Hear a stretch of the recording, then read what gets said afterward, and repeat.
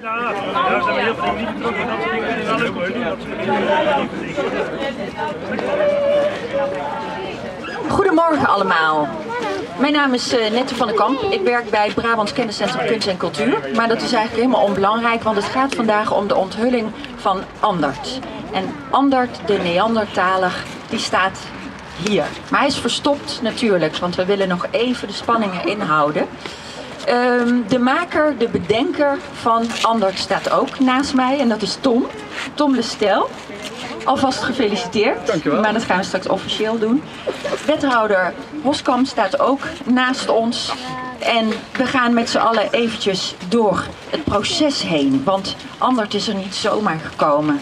Anderhalf jaar geleden waren we hier ook. Toen was ik hier met eh, tien eh, getalenteerde kunstenaars die bij BKKC een workshop volgen. De kunstopdracht noemen we die. En daar worden kunstenaars voor geselecteerd, mensen die nog niet zo heel lang in de beroepspraktijk meedoen, zo'n jaar of vijf maximaal. En die wij een kans willen geven om te werken in de openbare ruimte. Eerst dat nepvuurtje. Gaan jullie even helpen? Wie van jullie wil helpen? Kom maar. Allemaal. 1, 2, 3, ja!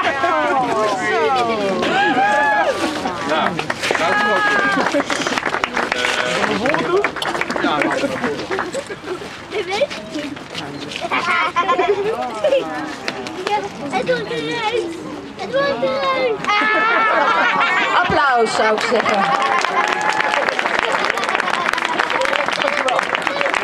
Eh, Staat er. Wat, Yes. Hoe voel je je? Ik voel me opgelucht en heel gelukkig dat mijn eerste beeld eh, eindelijk hier eh, staat. Ja. Ja, het is gemaakt van brons. Waarom heb je voor dat materiaal gekozen? Eh, omdat het een eh cartooneske, vrolijke eh, stijl is, eh, met het stijl van nu.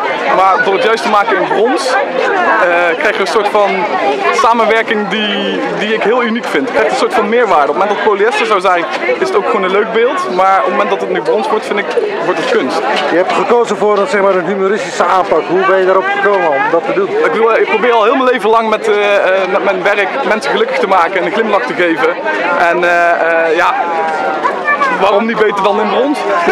Hoe kwam je erop om, om zo'n beeld te maken van, van, zeg maar, van ander, de Neandertaler? Eh, we hadden een rondleiding gehad over het terrein met Raoul Bekkers van de gemeente.